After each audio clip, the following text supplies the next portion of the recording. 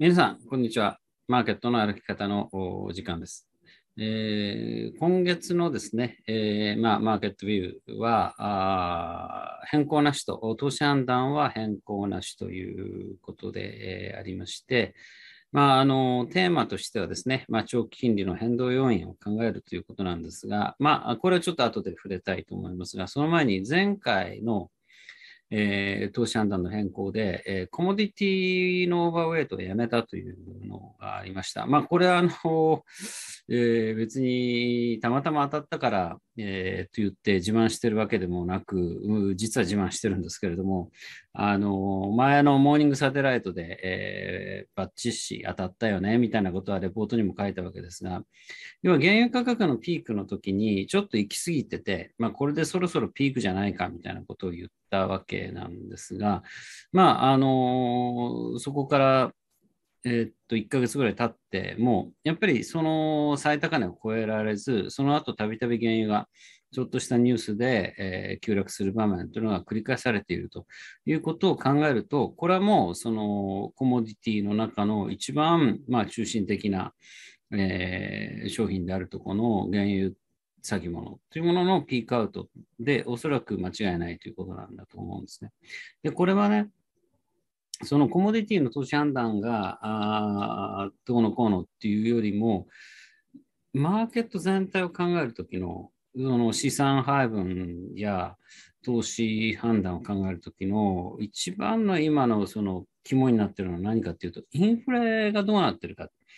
世界のインフレがどうなるんですかっていうのが今大問題、大きなテーマなんですね。それを考える上で非常にこの商品市況っていうものが一旦原油を中心にピークアウトしてるっていうのはすごくま重要なメッセージだろうと思います。だからもちろんその構造変化の部分ですね。前からずっと続くグリーンインフレーション、すなわち SDGs、ESG というような環境、脱炭素、カーボンニュートラル、こういうものが起こしている、そのグリーンインフレーションというものの構造要因だとか、あるいは今回のロシア、ウクライナの地政学リスクが、あの、導く、その、グローバリゼーションの終わり、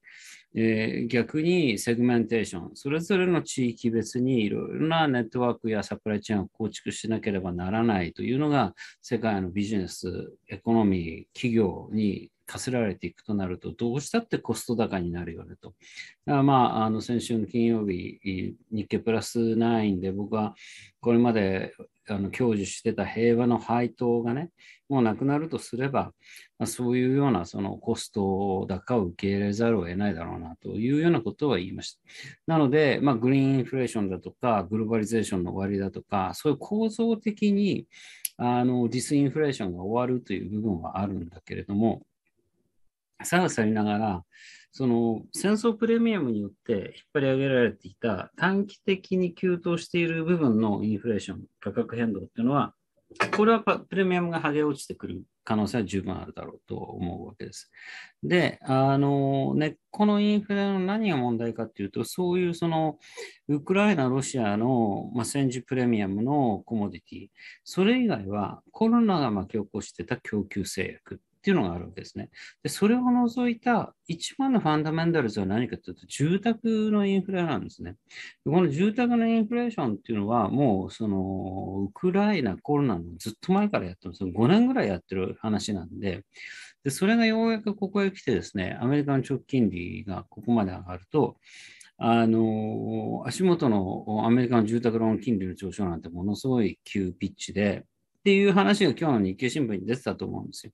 で、これが一番のポイントなんですね。あの、住宅バブルが終わるということだろうと思います。で、あの、金利のチャートをですね、ちょっと見ていただきたいんですが、足元ね、アメリカの長金利すごく上がって、一旦2.5つけたところで、まあ、あの、落ち着いてますよね。だから、ここまでちょっと短期的に金、えっ、と、急ピッチで金利が上がると、株は危ないよっていうような話もいろいろしたんですけど、まあ、ただ、その株式とかそういうのは結局、まあ、持ちこたえていけるんですが、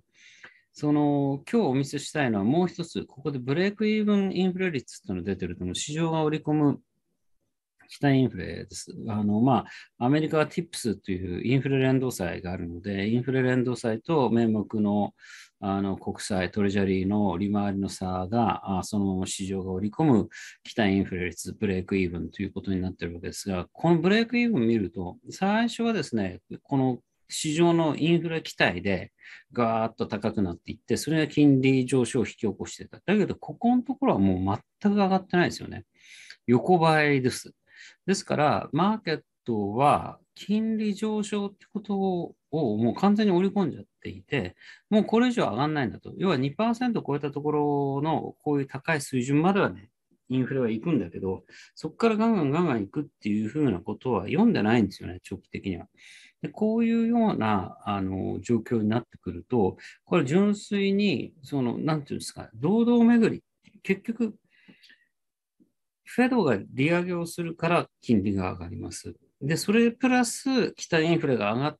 加わって金利っていうものが構成されている中で、フェドのその利上げの今今回のそのインセンティブというか、モチベーションというか、なんでフェドが利上げをするのかっていう、その根幹にインフレがあるわけですね。でもそのインフレはもう市場は織り込んでいて、それがもう上がらないとこまで来ちゃってるわけです。そうすると、堂々巡りじゃないけど、元のところに戻るとですね、フェドもふっと気がつくと、あの、もうそんなに利上げしなくていいんじゃないかっていうことになってくると思うんですよね。これが今のアメリカの長期金利の構造の中身なので、市場の要は期待インフレ率はもう上がっていない。ここだけ皆さんよく覚えておいていただければと、えー、思います。まあ、そういった意味で、まあ、あの今回の投資判断、えー、引き続きですね、先進国、えー、それから国内の株式オーバーウェイト、まあ、あとはもう逆にいらないっていうようなのが、まあ、今のね、あの資産配分のポイントなんだろうと思います。えー、ということで、えー、ご参考にしていただければ幸いです。